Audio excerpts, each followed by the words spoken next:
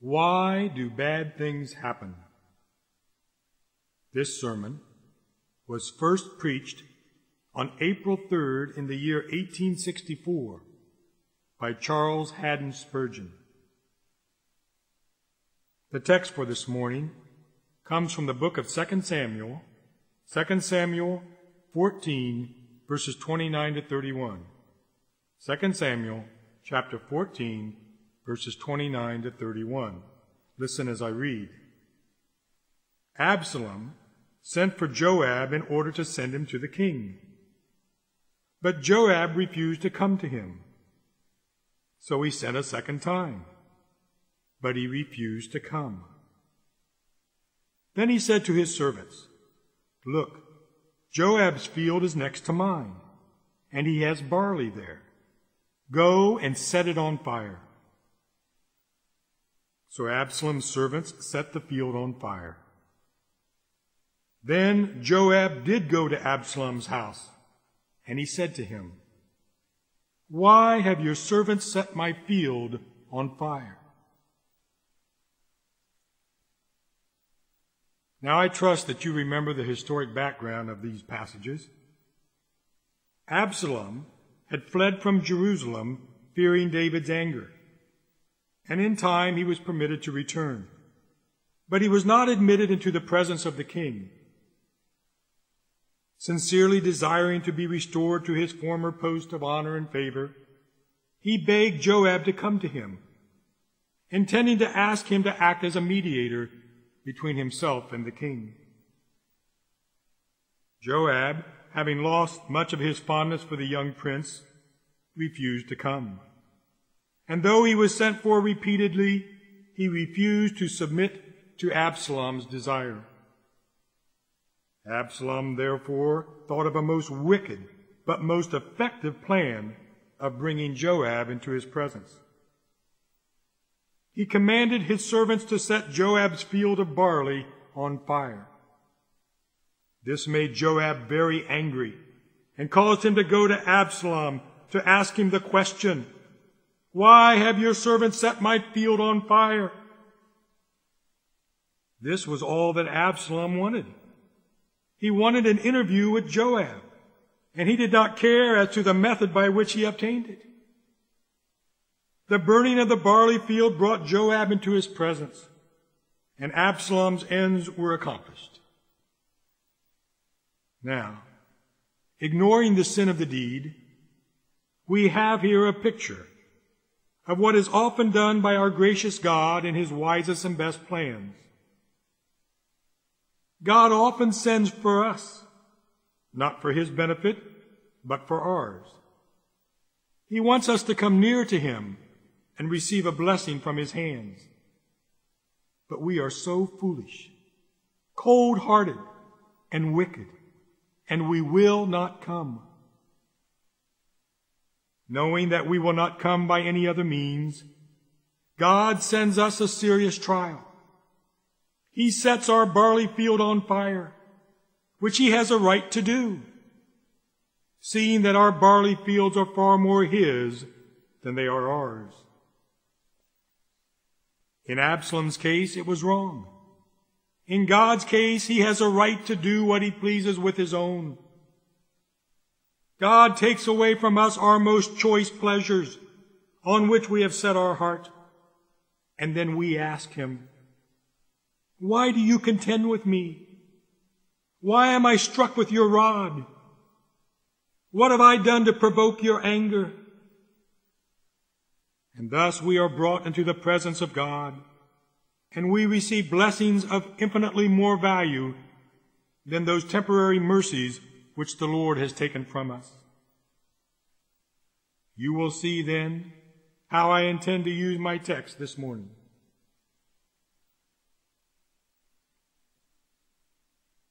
As the pastor of this large church, I am constantly brought into contact with all sorts of human sorrow. Frequently it is poverty. Poverty which is not brought on by laziness or wickedness, but real poverty and a most distressing and afflicting poverty too, because it visits those who have courageously fought the battle of life and have struggled hard for years, and yet in their old age scarcely know where their next meal will come from, and are trusting in the promise, Your bread will be given to you, and your water will be sure. Members of our church come to me, sometimes as fast as they came to Job, bearing sad tidings concerning their lives. One says to me, Sir, I ask for your prayers for me. God has been pleased to take away my wife with a stroke. She now lies in the cold grave. Another cries out, Oh, sir, my wife is very sick, and the physician says that there is very little hope for her. Pray for her, that she may be strengthened in the hour of her death, and also for me, that I may be enabled to praise the Master's wisdom. Then comes another. My son is very sick. He is to undergo a painful operation. Pray that the surgeon's knife may not cause my son's death, but that he may be enabled to bear up under it. And when I have sympathized with all these sad situations, more suffering brothers and sisters will be waiting at the door. How few families experience life without severe trials. Hardly a person escapes for any period of time without tribulation. With an impartial hand, sorrow knocks at the door of the palace and of the cottage. Why does all this happen? The Lord we know does not willingly bring affliction or grief to the children of men without reason. Yet we wonder why he uses so many frowning servants and so often sends out his usher of the black rod. Why is this? Well, perhaps I may be able to give an answer to this very important question. And it may be that I can be as helpful to the afflicted as the jailer was to Paul and Silas when he washed their wounds. I will use my text, first of all, in reference to believers, and then with regard to the unconverted. Oh, for help from above. First of all, brothers and sisters, let us apply the text with reference to believers in Christ. Let us apply the text with reference to believers in Christ. My beloved brothers and sisters in Jesus Christ, we cannot expect to avoid suffering. If other men's barley fields are not burned, ours will be. If the Father uses the rod nowhere else, he will surely make his true children feel the sting of it.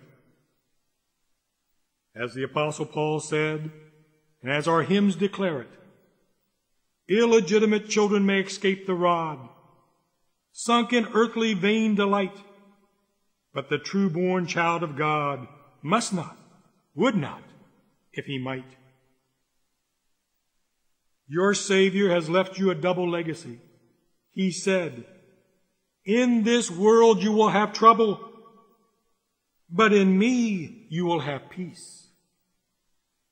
You enjoy the peace, but you must not expect that you will escape without the privilege of the trouble. All wheat must be threshed, and God's threshing floor witnesses to the weight of the beating as much as any other. Gold must be tested in the fire, and truly the Lord has a fire in Zion and his furnace in Jerusalem. But you, beloved, have four very special comforts in all your trouble. Beloved, you have four very special comforts in all your trouble. First, you have this sweet reflection that there is no curse in your cross. You have this sweet reflection that there is no curse in your cross. Christ was made a curse for us, and we call his cross the accursed tree. But truly, since Jesus hung on it, it is most blessed. And I may now say concerning the cross of affliction, Blessed is every man who is hung on this tree. The cross may be very heavy, especially while it is green, and our shoulders unused to carrying it. But remember, though there may be a ton of sorrow in it, there is not a single ounce of the curse in it. God never punishes his children in the sense of avenging justice. He chastens us as a father does his child, but he never punishes his redeemed as a judge does a criminal. It would be unjust to exact punishment from redeemed souls, since Christ has been punished in their place. How can the Lord punish twice for one offense? If Christ took my sins and stood as my substitute, then there is no wrath of God for me. And though my cup may be bitter, yet there cannot be a single drop of almighty wrath in it. I may have to feel the sting, but it will never be beneath the avenger's rod of justice, but under the parent's rod of wisdom. O Christians, how sweet this ought to be to you. There was a time when you were under conviction of sin, when you thought you would rot in a dungeon or burn at the stake most cheerfully, if you could only get rid of the sense of God's wrath. And will you now become impatient? The wrath of God is the thunderbolt which torments the soul. And now that you are delivered from that tremendous peril, you must not be overwhelmed with a few showers and storms which Providence sends your way. A God of love inflicts our sorrows. He is as good when he chastens as when he caresses. There is no more wrath in his afflicting providences than in his abundant blessings. God may seem unkind to unbelief, but faith can always see love in his heart. Oh, what a mercy that Sinai has ceased to thunder. Lord, let Jesus say what he will so long as Moses is quieted forever. Strike, Father, if you will, now that you have heard the Savior's plea and justified our souls. Secondly, we have another ground of comfort, namely that your troubles are all allocated to you by divine wisdom and love. We have another ground of comfort, namely that our troubles are all allocated to us by divine wisdom and love. As for their number, if God appoints that you have ten trials, then there can never be eleven.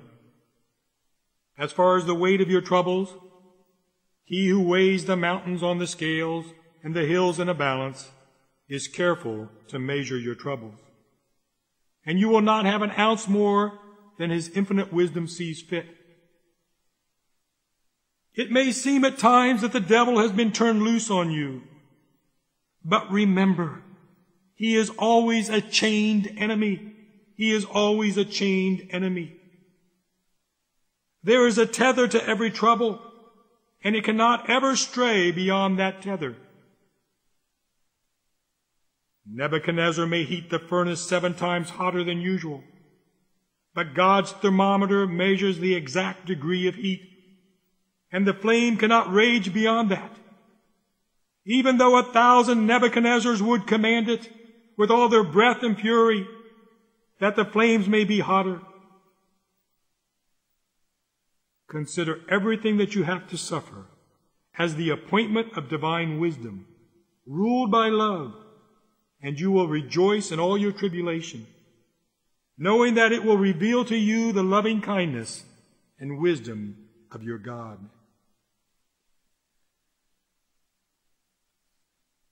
You have a third comfort, namely that under your cross you have had many special comforts that are refreshing tonics which God gives to sick saints, which he never puts to the lips of those who are in health. You have a third comfort, namely that under your cross, you have many special comforts that are like refreshing tonics, which God gives to sick saints, which he never puts to the lips of those who are in health. Dark caverns never keep back the miners if they know that diamonds are to be found there. You needn't fear suffering when you remember what riches it yields to your soul. There is no hearing the nightingale without the night. And there are some promises which only sing to us in trouble. It is in the cellar of affliction that the good old wine of the kingdom is stored. You will never see Christ's face so clearly as when all others turn their backs on you. When you become confused in your suffering, that human wisdom is at a loss to explain, then will you see God's wisdom manifest and clear. Oh, the love visits which Christ pays to his people when they are in the prison of their trouble. Then he lays bare his very heart to them and comforts them as a mother does her child. Those who have made Jesus their bed enjoy sweet sleep. Suffering saints are generally the most flourishing saints, and well they may be, for they are in the special care of Jesus. If you want to find a man whose lips drop with pearls, look for one who has been in the deep waters. We seldom learn much except what is beaten into us by the rod in Christ's schoolhouse under Madam Trouble. God's vines owe more to the pruning knife than to any other tool in the garden. Extra shoots are sad spoilers of the vines. But even while we carry it, the cross brings comfort for the present. It is a dear, dear cross completely draped with roses and dripping with sweet smelling myrrh. Rutherford at times seemed to doubt which he loved best, Christ or his cross. But then, good man that he was, he only loved the cross for his Lord's sake. Humble souls count it a great honor to be thought worthy to suffer for Christ's sake. If heaven is ever opened at all to the gaze of mortals, the vision is granted only to those who dwell in the Patmos of need and trouble. Furnace joys glow quite as warmly as furnace flames. Sweet are the uses of adversity, and sweet are its accompaniments when the Lord is with his people. Mid the gloom, the vivid lightnings, with increasing brightness play. Mid the thorns grow lovely flowers, looking so beautiful and gay. So in darkest dispensations does my faithful Lord appear with his richest consolations to revive and cheer. But this is the point where my text brings me. And everything I have already said is going astray from it you have this comfort. That your trials work for your eternal good by bringing you nearer and nearer to your God. Your trials are working for your eternal good by bringing you nearer and nearer to your God. This point will be illustrated by the narrative before us. My dear friends in Christ Jesus, our Heavenly Father often sends for us and we will not come. Our Heavenly Father often sends for us, and we will not come. He sends for us to exercise a more simple faith in Him. God sends for us to exercise a more simple faith in Him. We have believed, and by faith we have passed from death to life. But our faith sometimes staggers. We have not yet attained Abraham's confidence in God. We do not leave our worldly cares with him, but like Martha, we hinder ourselves with our many acts of service. We have the faith to hold on to little promises, but often we are afraid to open our mouths wide, even though God has promised to fill them. He therefore calls to us, Come, my child, come and trust me. The veil is removed. Enter into my presence and boldly approach the throne of my grace. I am worthy of your fullest confidence. Cast all your cares on me. Come into the sunlight and clearly read your deed to heaven. Shake off the dust of your cares and put on your beautiful garment of faith. But sadly, though we are called with words of love to be blessed by this comforting grace, we will not come. At other times, God calls us to closer communion with Himself. At other times, He calls us into closer communion with Himself. We have been sitting on the doorstep of God's house, and He commands us to come into the banqueting hall and to eat with Him. But we decline the honor. He has admitted us into the inner rooms, but there are secret rooms not yet open to us. He invites us to enter them, but we hold back. Jesus longs to have communion with his people. It is a joy for a Christian to be with Christ, but it is also a joy for Jesus to be with his people. For it is written that he delights in mankind. Now, one would think that all Christ had to do was to merely summon us with his finger and say to us, Come near and commune with me. And we would fly, as it were, with wings on our feet. But instead, we cling to the dust of this world. We are too busy. We have too many cares. And we forget to come though it is our beloved's voice which calls to us. Frequently, the call is to more fervent prayer. Frequently, God calls us to more fervent prayer. Don't you feel in yourself at certain times an earnest longing for private prayer?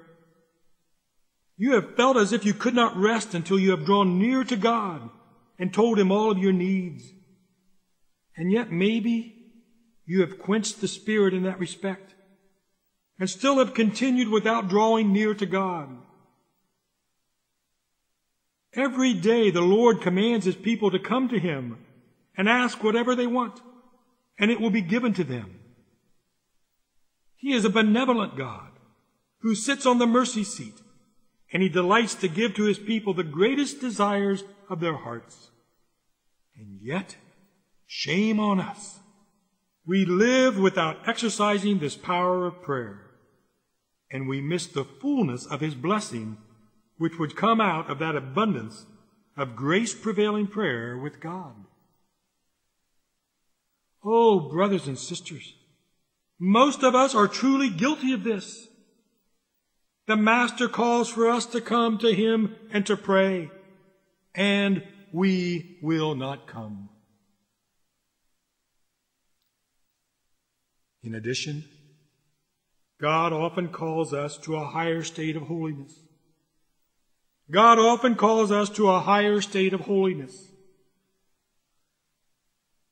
From this pulpit, I have labored to stir you up to nobler attainments. I have pleaded with you to no longer be satisfied with your nominal attainments but to press forward to things more sublime and heavenly. Haven't I cried to you, beloved, and commanded you to forget the steps you have already taken and to focus on the glorious path ahead of you?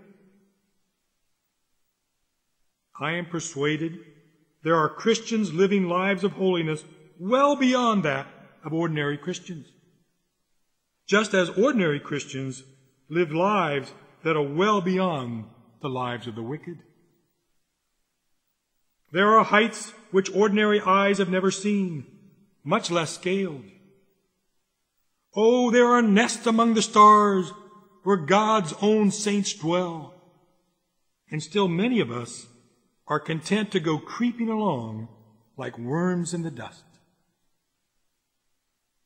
Oh, that we would have the grace to cling to the clouds and climb into the pure blue sky of fellowship with Christ. We do not serve God as we should. We are as cold as ice when we should be like molten metal burning our way through all opposition. We are like the barren Sahara Desert when we should be blooming like the garden of the Lord. We give to God pennies when he deserves dollars. No, rather he deserves our heart's blood to be coined in the service of his church and of his truth. Oh, we are nothing but poor lovers of our sweet Lord Jesus, not fit to be his servants, much less to be his bride. If he had put us in the kitchen to be servants, I fear we would be barely fit for the service. And yet he has exalted us to be bone of his bone and flesh of his flesh, married to him by a glorious marriage covenant. Oh, brothers and sisters, God often calls us to higher degrees of holiness, and yet we will not come. Now, why is it that we permit our Lord to send for us so often without going to Him? Let your own heart give the reason in a humble confession of all your offenses. Oh, my brothers and sisters, we never thought we could have been as bad as we are. If an angel had told us that we would be so indifferent towards Christ, we would have said, as Hazael said to Elisha, how could your servant, a mere dog, accomplish such a feat?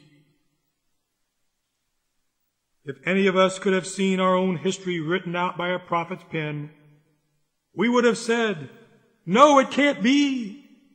If Christ forgives me, I must love him. If he is pleased to make me his own brother or sister, I must serve him.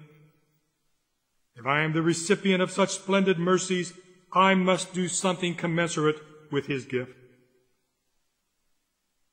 And yet, up until now, we have been ungrateful, unbelieving, and even have refused to listen to his call or to come at his command. He has said, Seek my face. And our heart did not respond with, Lord, I will seek your face. Because of all of this, because we will not listen to the gentle call of God, there comes trouble. Just as there came the burning of the barley field of Joab, because he would not come when the young prince called him. Trouble comes in all sorts of shapes. It matters little what form it comes in, as long as it answers the purpose of making us obey the divine calling. Some Christians have their trial in the shape of sickness. They drag around a diseased body all of their lives, or they are suddenly cast on the bed of sickness, and they toss back and forth night and day in pain and weariness. Yes, some Christians have their trial in the shape of sickness. They drag around a diseased body all their lives, or they are suddenly cast on the bed of sickness. And they toss back and forth night and day in pain and weariness. This is God's medicine. And when God's children take it, they should not think it is sent to kill them, but rather to heal them. A lot of the medicine which the physician gives out makes the person feel even more ill for a while. He is worse with it than he would have been without it. But if he is a smart physician, he knows that this is the consequence of medicine. And he is not at all alarmed by the pain of his patient. for he expects that all of this will work for the good and seek out, as it were, the original disease. In the same way, when the Lord sends us painful sickness, it will, for a while, perhaps make our former spiritual illnesses grow worse. For sickness often causes impatience and murmuring against God. But in due time, our proud spirits will be broken, and we will cry out for mercy. Just like a metal file removes rust, so does sickness frequently remove our deadness of heart. The diamond undergoes many cuttings, which causes its value to increase. And so it is with the believer under the loving discipline of God. I have heard it said of many ministers that they preach best after a time of sickness, and that their preaching was so much improved that their congregations have hardly regretted all the pains their minister had to suffer when they discover how good and full of substance his sermons have been since then. My brothers and sisters, if you will not come to God on your own, then he will send you a sick bed that you may be carried on it to him. If you will not come running, he will make you come limping. If you will not come when your eyes are bright and your body is full of health, he will make you come when your eyes are dull and heavy and your body is sickly and sad. But you will come. And if not by any other means, sickness will be the black chariot in which you will ride. Losses, too, are frequently the means God uses to bring home his wandering sheep. Like fierce dogs, they use fear to move the wanderers back to the shepherd. Yes, losses, too, are frequently the means God uses to bring home his wandering sheep. Like fierce dogs, they use fear to move the wanderers back to the shepherd. One cannot tame a lion if they are too well fed. The lion must be brought down from their great strength, and their stomachs must be a bit hungry, and then they will submit to the tamer's hand. And we have often seen that the Christian is made obedient to the Lord's will by the loss of some of their wealth and easy living. When rich and prosperous, some who profess to be Christians become proud and begin to boast. Like David, they boast, My mountain stands firm, it will never be moved. When the Christian is wealthy, has a good reputation, has good health, and a happy family, he too often admits Mr. Carnal Security to feast at his table. If he is a true child of God, there is a rod being prepared for him. Wait a while, and it may be that you will see his life melt away like a dream. There goes a portion of his estate. How soon the acres change hands. There goes part of his business. No profits will ever come to him again from that area. A sudden, unexpected loss occurs. A customer refuses to pay their debts to him. Oh, how fast his losses come. Where will they end? Now, as these embarrassments and frustrations come in one after another, he begins to be distressed about them, and he goes to his God. O blessed waves that wash the man on the rock of salvation. O blessed cords, though they may cut the flesh, they draw us to Jesus. Losses in business are often sanctified to enrich our souls. If you will not come to the Lord in your days of wealth, you will come to him in your days of poverty. If God in his grace finds no other ways of making you honor him among men. If you cannot honor him on the pinnacle of riches, he will bring you down to the valley of poverty. Bereavements too. Oh, what sharp cuts of the rod we get with these, my brothers and sisters. Bereavements. Oh, what sharp cuts of the rod we get with these, my brothers and sisters. We know how the Lord sanctifies these to the bringing of his people near to himself. How glad we would be to remember that Christ himself once suffered bereavements as we have. Tacitus, the Roman historian from the first century, tells us that an amber ring was thought to be of no value among the Romans until the emperor started to wear one. And then right away an amber ring was held in high esteem. Bereavements might be looked on as very sad things. But when we remember that Jesus wept over his friend Lazarus, then we will see that they are choice jewels and special favors from God. Christ wore this ring. Therefore, I must not be ashamed to wear it.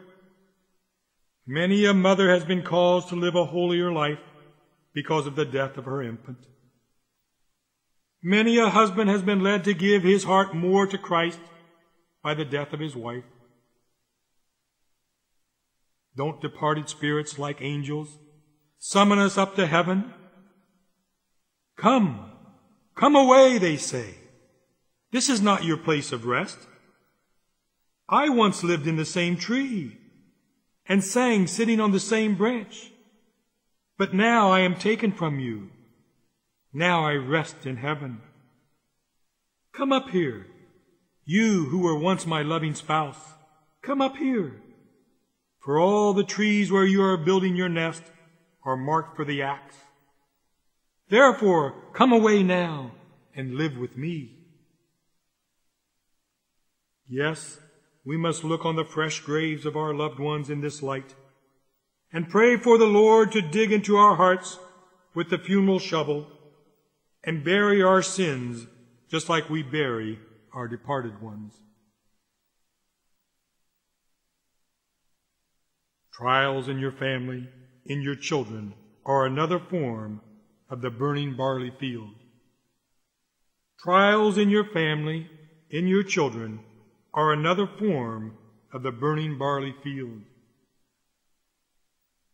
I don't know, brothers and sisters, but I think a living cross is much heavier to carry than a dead one. I know some among you who have not lost your children.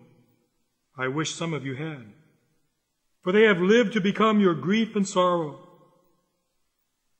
Ah, young man, it would have been better that your mother should have seen you perish during your birth than that you should have lived to disgrace your father's name.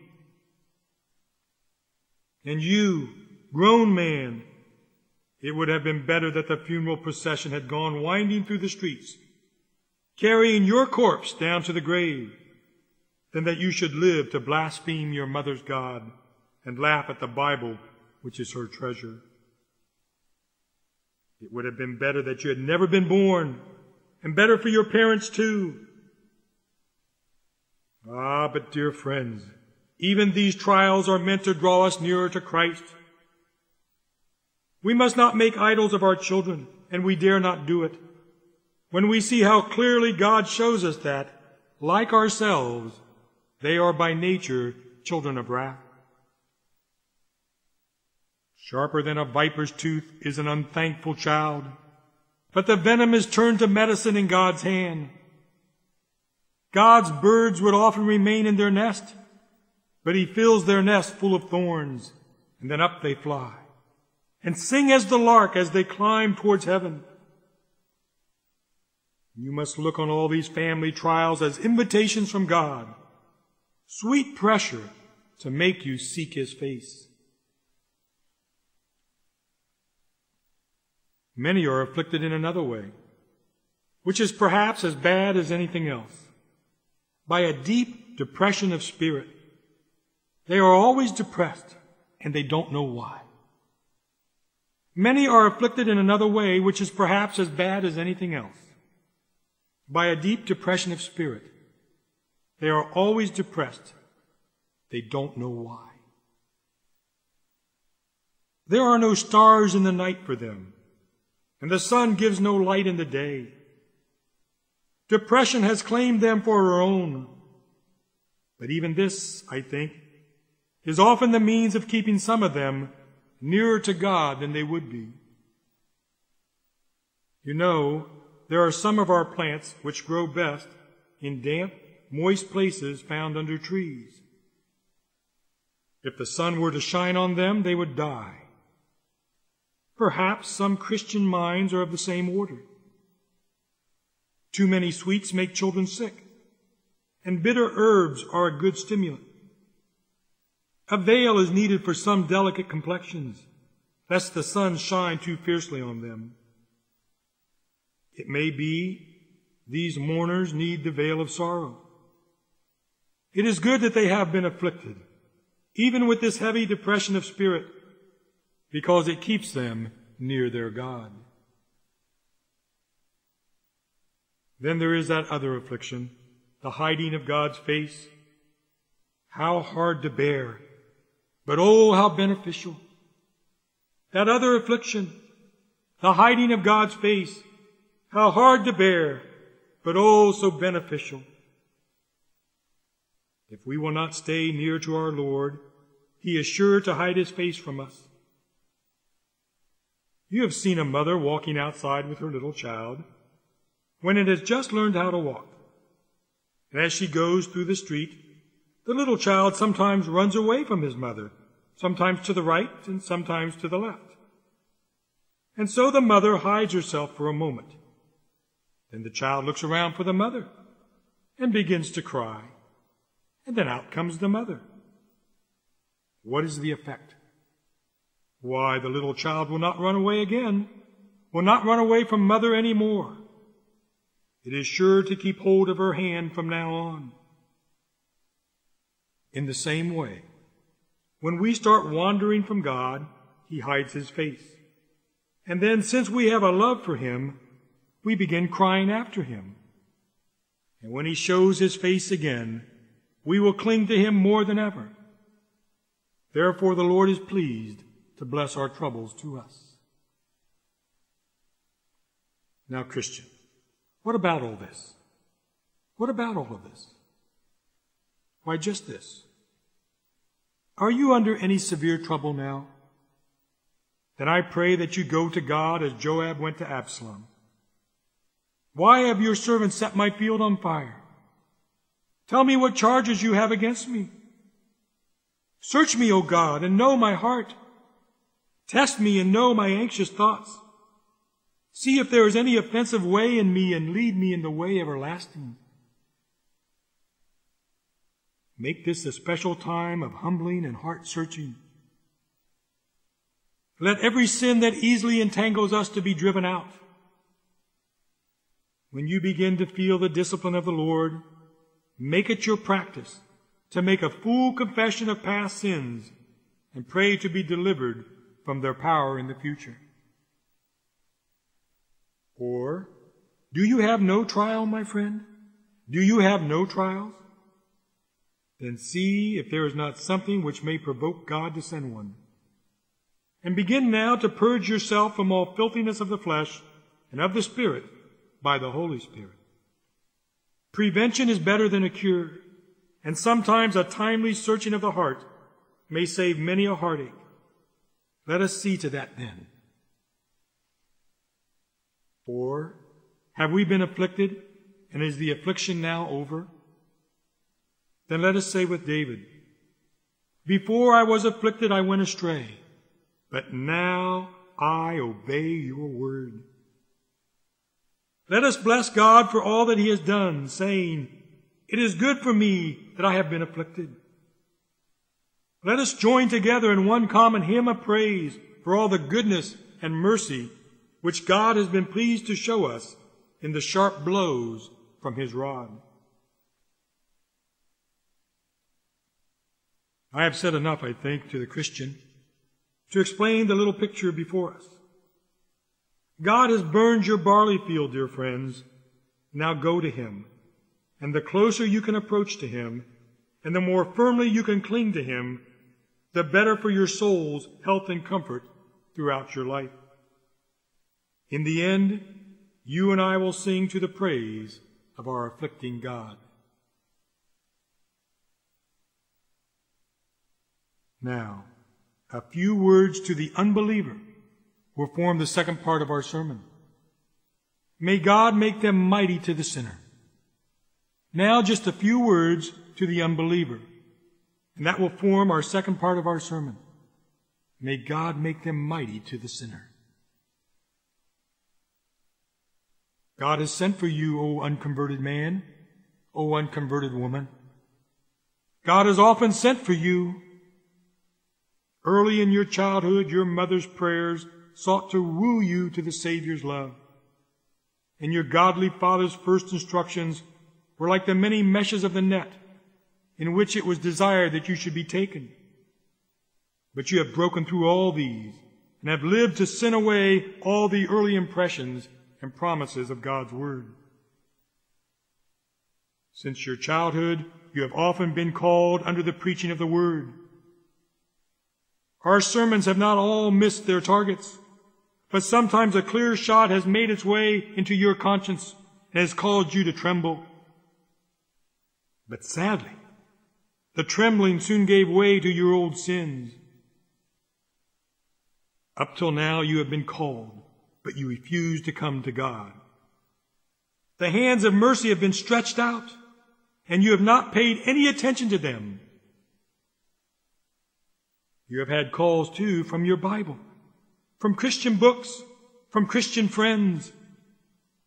Holy zeal is not altogether dead, and it shows itself by looking after your welfare. Young man, your coworker has sometimes spoken to you. Young woman, your friends have wept over you. There are some of you now present who have been called by the most loving of voices in our Sunday school classes. Men and women with deep love for the souls of those committed to them. Tender hearts and weeping eyes.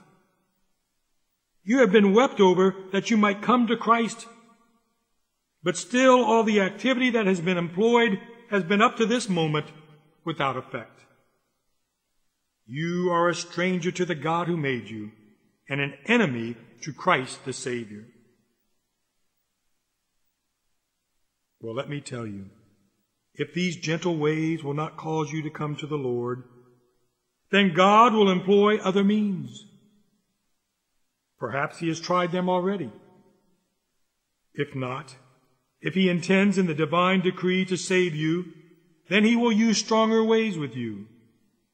And if a word will not do, he will come with a blow. Though he loves to try the power of the word first.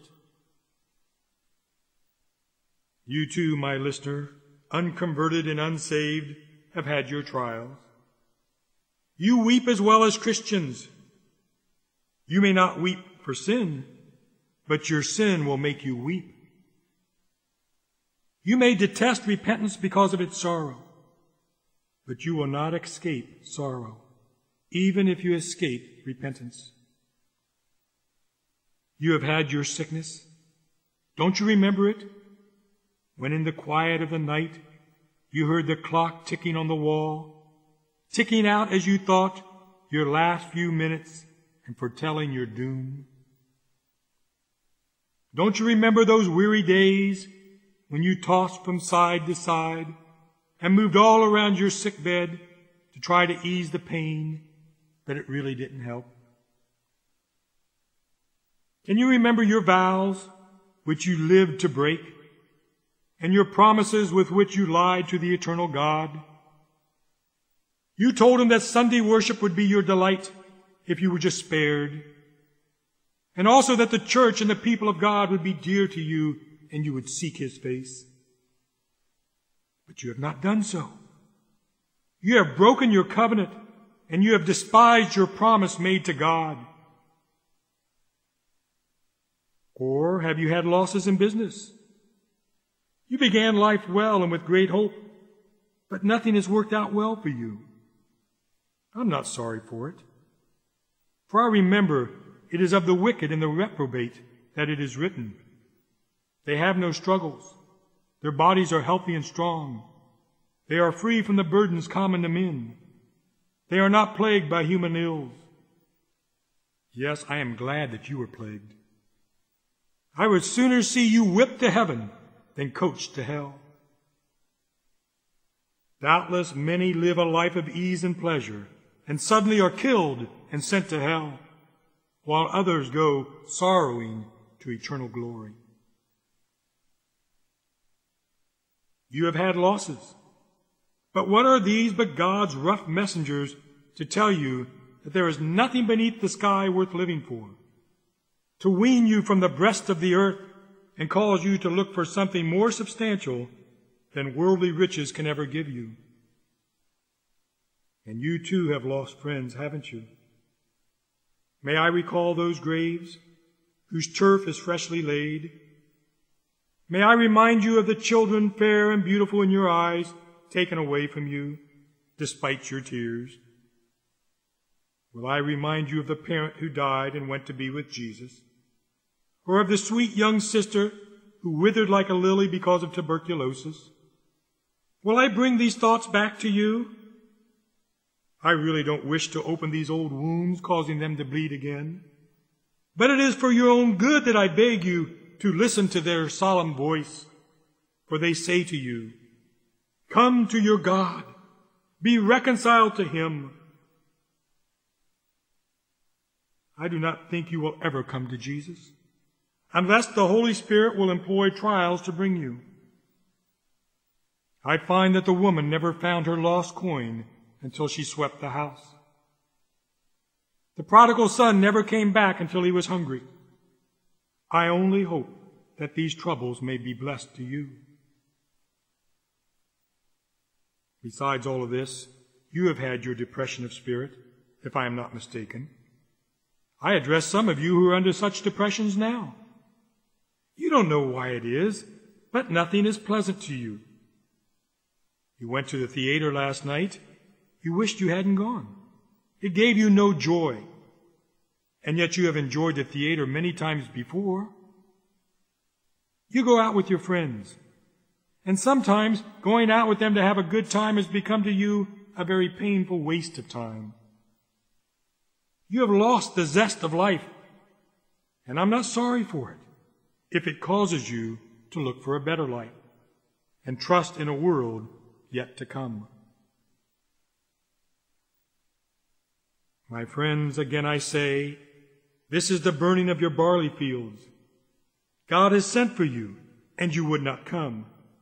And now he has sent messengers who are not so easily refused. He has sent these with sterner and rougher words which speak to your flesh, if your spirit will not listen. Well, now, unbeliever, if God is sending these, are you listening to them? My friends, if God has sent these, have you listened to them? Unbeliever, if God is sending these, are you listening to them?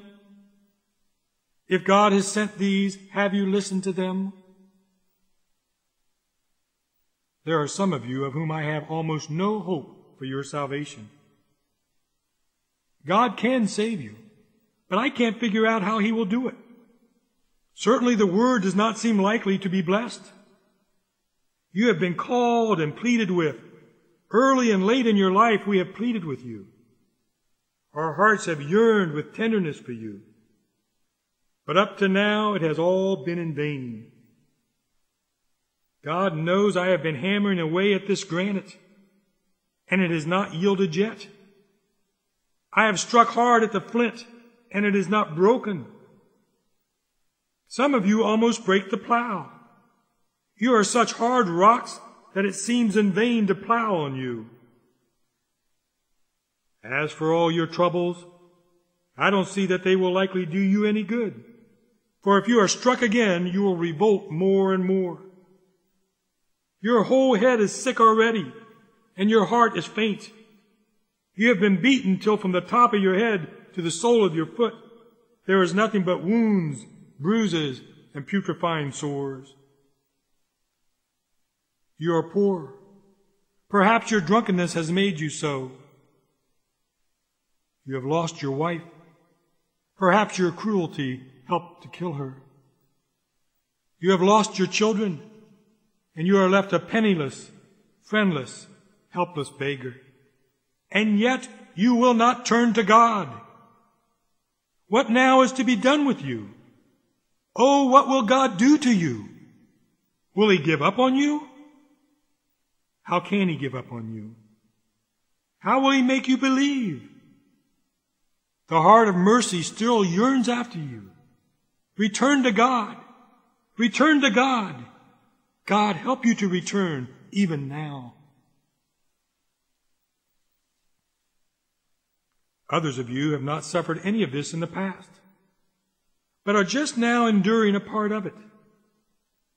Let me beg you by the mercies of God and by the blood of our Lord Jesus Christ that you do not despise him who speaks to you. God does not continue to send his messengers forever. After he has labored with you for a time, he will leave you in your sins and to face his eternal wrath. Patience does not last forever. Mercy has its day. Look, the king runs up the white flag of peace and comfort today, and he invites you to come to him. Tomorrow he may run up the red flag of warning, and if that red flag will not make you turn, he will run up the black flag of execution, and then there will be no hope. Beware the black flag is not run up yet. The red flag is there now in trials and troubles, which are God's warnings to you, commanding you to open your heart that grace may enter. But if the red flag fails, the black flag must come. Perhaps it has come. God help you with a broken heart to cry to Him that you may be saved before the candle is blown out and the sun is set, and the night of the dead comes without the hope of another sun rising on a blessed resurrection.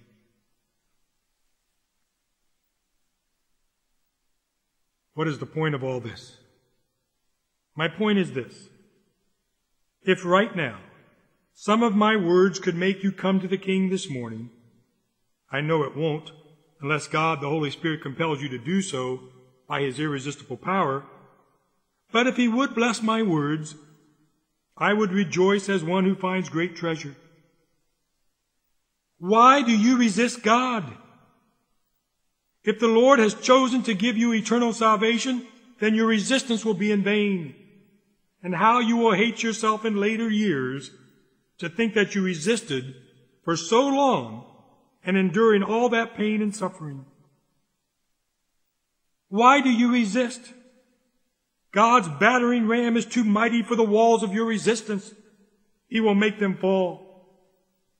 Why do you stand against your God, against him who loves you, who has loved you with an everlasting love and redeemed you by the blood of Christ?